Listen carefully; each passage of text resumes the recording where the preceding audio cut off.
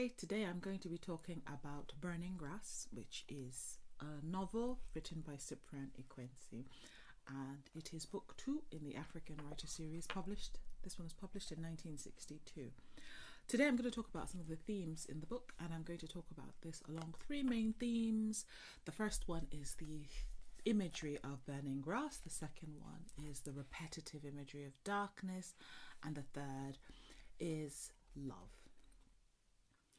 Burning Grass, that's the title of the book, and it begins with an image of burning grass and it ends with burning grass.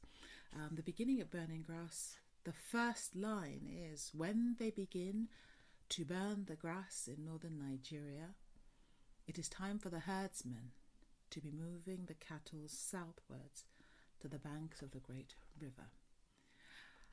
So it's about herdsman Mason Said, Maisa Said, who is the father of um, three sons, and they are all cattle rearers. According to the book, they have the cattle, they were raised with the cattle in their blood.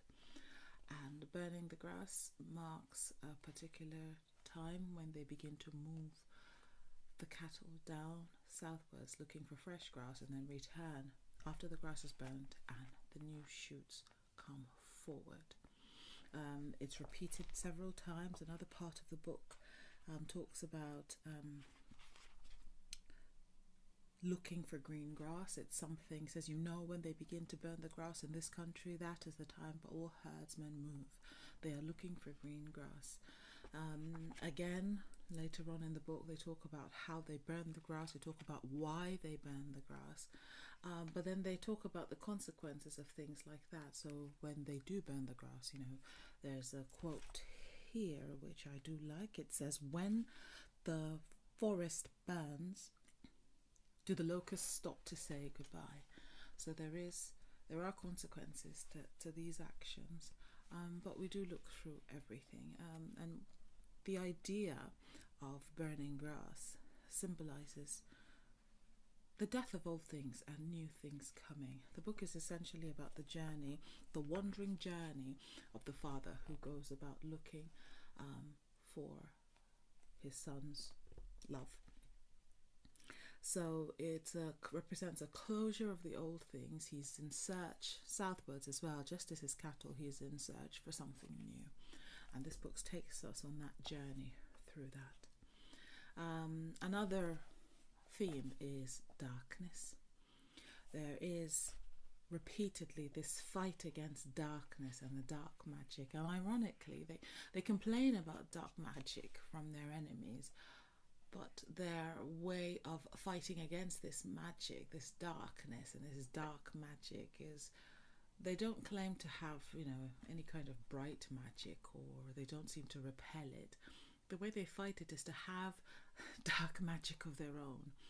Um, page 61 of my version talks about um, the son of Sunsaye, when he's fighting, he says, My father makes darkness for his enemies. And he boasts about that. And the, the father also says later, uh, let's see, I think, I think I've got that on page 90. The father talks about, um, he says, Are we not the makers of darkness?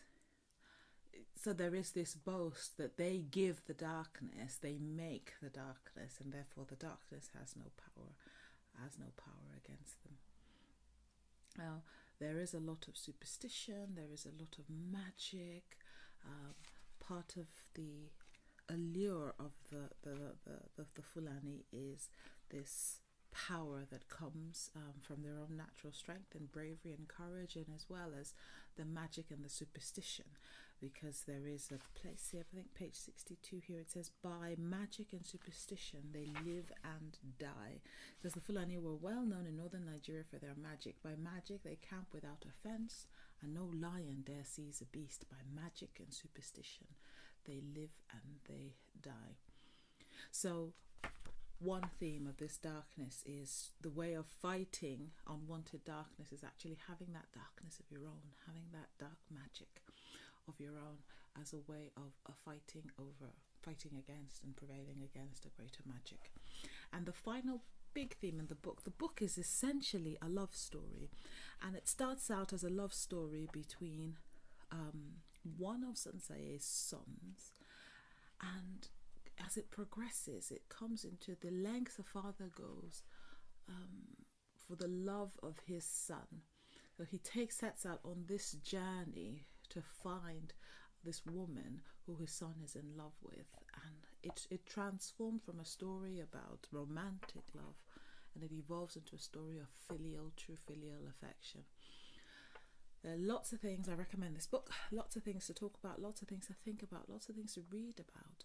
Um, it's very interesting, written by Cyprian Ekwensi about a tribe that was not his own. So that's quite unusual. Very often we find writers writing about their own experience, about their own tribe, about their own culture.